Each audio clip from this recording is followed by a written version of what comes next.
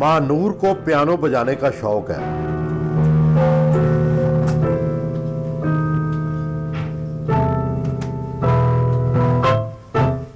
आपको पाकिस्तानी म्यूज़िक में Indian music में उर्दू में क्या चीज़ पसंद है? अब पाकिस्तानी म्यूज़िक की मुझे कम ही यादें हैं। लेकिन मुझे ये एक फ़िल्म याद है सनम की कसम जो निकली थी जब हम यहाँ आ रहे थे तो उसका म्यूज़िक मुझे काफ़ी याद है। आपका ये जो पियानो है तो आप कभी पाकिस्तानी म्यूज़िक या इंडियन म्यूज़िक सुनती हैं तो क्या आपको उस म्यूज़िक से कोई अट्रैक्शन होती है या यहाँ के आप इंग्लिश सॉन्ग्स पसंद है? अम, मैं काफ़ी डाइवर्स म्यूज़िक की मेरी रेंज है और इंग्लिश सॉन्ग्स भी हैं कुछ पुराने सॉन्ग्स भी हैं कुछ उर्दू सॉन्ग्स भी हैं। अच्छा उर्दू कौन से सॉन्ग्स पसंद है? अ, उर्दू सॉन्ग्स मेरी मामा आतिफ असलम को काफ़ी पसंद करती हैं। उनका म्यूज़िक हमेशा किचन में कुकिंग के वक्त चलता रहता है कुछ क्लासिकल म्यूज़िक भी चलता है। और ये बताएँ कि आपने कभी कोई पाकिस्तानी ड्रामा देखा कोई टीवी ड्रामा देखा? कौन सी एक्ट्रेस एक्टर पसंद है?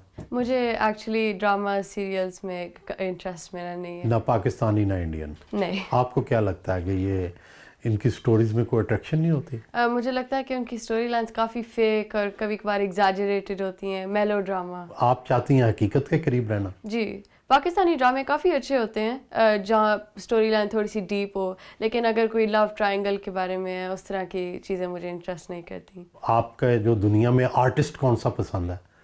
फिलासफर कौन सा पसंद है? फ़िलासफर मेरा इंटरेस्ट एरिस्टोटल प्लाटो सोक्रेटिस में उनमें से क्या चीज़ अच्छी लगती है एरिस्टोटल सॉक्रेटिस प्लेटो में?